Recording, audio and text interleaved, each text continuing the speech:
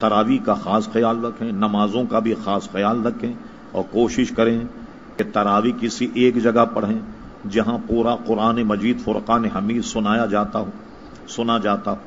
हदीस शरीफ में है कि जब रम रमदान का मौका आता तो हज़रत जबरील सलाम हुजूर की खिदमत में हाजिर होते। एक हदीस शरीफ में कि हुजूर को कुरान सुनाते और एक हदीस शरीफ में कि हुजूर उन्हें कुरान सुनाते दोनों हदीसों को उलमा ने यूँ जमा किया कि गोया रमज़ान का महीना कुरान मजीद सुनने और सुनाने का मौका है।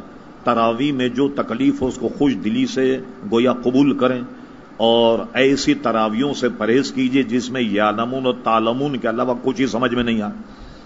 कि लोग ऐसी तरावी तलाश करते हैं जहाँ 20 मिनट में तरावी खत्म हो जाए, इसका कोई फ़ायदा है नहीं।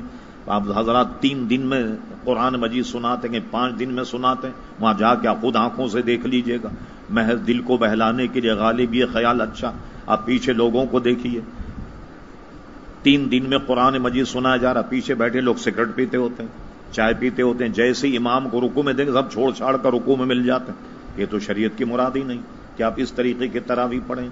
खुश दिली के साथ कहीं सत्ताईस शरीफ या पच्चीस में या तेईस में जहाँ कुरान मजीद खत्म होता हो और सही खां पढ़ने वाला भी अच्छा हो, जो समझ में आता हो। जब आप इतनी मेहनत शाखा कर रहे हैं, ज़ाहिर कि उसका सवाब भी मिलना चाहिए। तो तरावी भी ऐसी जगह पढ़ें कि जहाँ कुछ समझ में आए, ताकि पूरा आपको सवाब मिले और ऐसी तरावियाँ पढ़ने से परहेज करें कि जहाँ या 20 मिनट या 15 मिनट में